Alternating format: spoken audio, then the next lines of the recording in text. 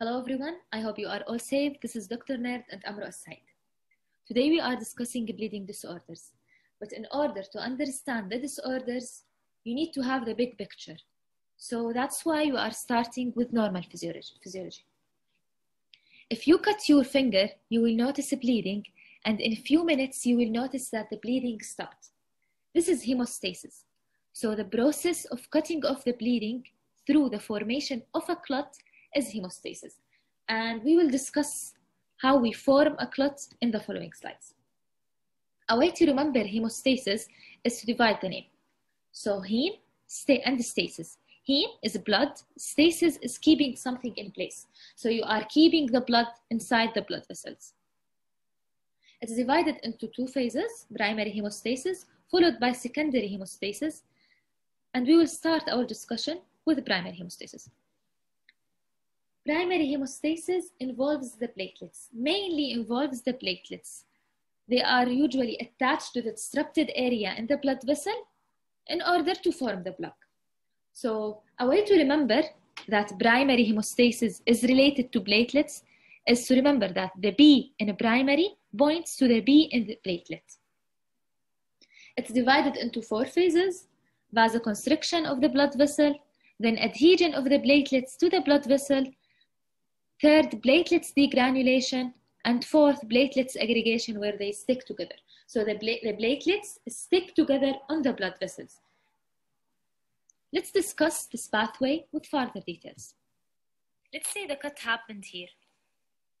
The endothelium is now disrupted and the first immediate response is going to be from the surrounding endothelium as it releases endothelin.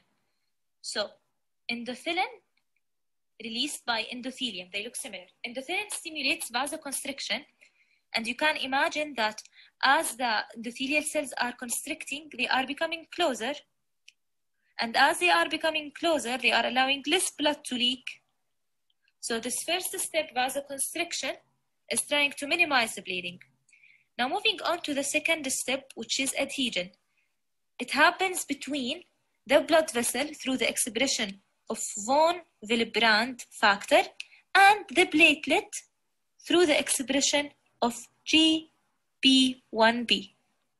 The bond between these two is going to simulate a morphologic change in the platelet. This takes us to step number three, degranulation, where the platelets release its granules. These granules have ADP and thromboxane. ADP stimulates the expression of a receptor, and this receptor is called GB2B3A while on the other hand, thromboxane is going to attract the platelets to the site of injury. This takes us to step number four, aggregation, where the platelets aggregate together, they stick together. For example, this platelet is expressing the same exact receptor, GB2B3A, and these two platelets, this one and this one, are going to attach together through fibrinogen. Same as here, and same as here, and so on. This is a primary hemostasis, and I don't know if you can see him or not, but we have drawn an alien. I'm going to revise the entire pathway through this alien, so it helps you to remember later. Uh, the first step, vasoconstriction through the release of endothelin, is his arms. The second step, adhesion, which is the bond between GB1B and von Willebrand factor, is his face. The third step, degranulation, which is the release of ADP and thromboxane, is his hair. The fourth step, which is aggregation, is his hat. Now, since we get the normal physiology, we can discuss the disorders. Remember primary hemostasis definition. It involves the attachment of platelets to the disrupted area of the blood vessel endothelium. So the main two components in primary hemostasis are the platelets and the blood vessel. And whenever something is wrong with one of them, then there is definitely something wrong with primary hemostasis. Our area of concern today isn't blood vessels disorders, it's platelets disorders. Platelets disorders are divided into two types. Quantitative, where the platelets count is low and that's the issue, and the qualitative, where the platelets count isn't the issue. The platelets function is the issue. What would a patient with a primary hemostasis disorder present with? We mentioned earlier that we need hemostasis to stop bleeding. So if hemostasis is impaired, we won't be the, the patient or the, the body won't be able to stop the bleeding. And, that, the, and that's why all the signs and symptoms are about bleeding. The patient might bleed from the mucosal surfaces, uh, we'll have epistaxis, hematuria, GI bleeding, menorrhagia, intracranial bleeding. So all mucosal surfaces might bleed. One important point about intracranial bleeding is that it only happens in very severe cases. So for example, if the platelets count is very low. And the patient will have skin bleeding. Petechia, purpura, ecchymosis are all types of skin bleeding and they vary from each other depending on the size. The patient will have easy bruising and we mentioned why is that earlier. Then you do investigations. Why do we do investigations? First, to confirm the disorders and then, and second, to know why is the disorder present in the first place. So you do platelets count.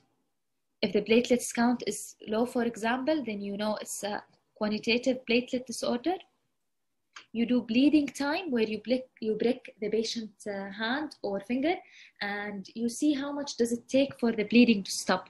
If it takes, for example, an hour, then there is definitely something wrong. You do blood smear, which will help you to count the platelets and to check the shape of the platelets.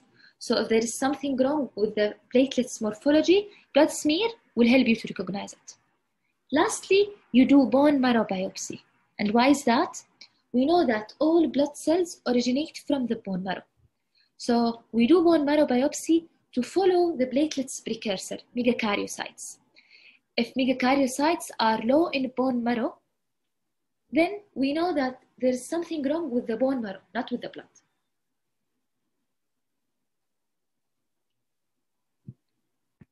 We will start with qualitative platelets disorders. And remember, by qualitative, we mean something is wrong with the platelet quality, not count. The first two disorders happen in step number two, adhesion. Bernard-Soulier syndrome happens as a result of GB1B deficiency, which, which is needed to connect the platelet to von Willebrand factor in the blood vessel. And so in this disease, this won't happen, and the adhesion won't happen as a result. The other disorder is von Willebrand disease, which happens either, either as a result of von Willebrand factor deficiency or as a result of von Willebrand factor defect. So von Willebrand factor in this case won't be functioning well. Either ways, adhesion won't happen because von Willebrand factor isn't present to connect the blood vessel to GB1B on the platelet. The other disorder happens, happens as a result of thromboxane deficiency. Why? Because of aspirin. Aspirin acts on cyclooxygenase enzyme, which is part of arachidonic acid pathway, by irreversibly inhibiting it. And so the end product thromboxane won't be produced and, plate- and platelets won't be attracted to the site of injury.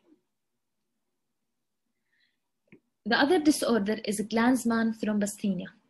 It happens as a result of GB2B3A deficiency. Do you, do you remember what we needed this for? We needed it to connect the platelets together and aggregate them together.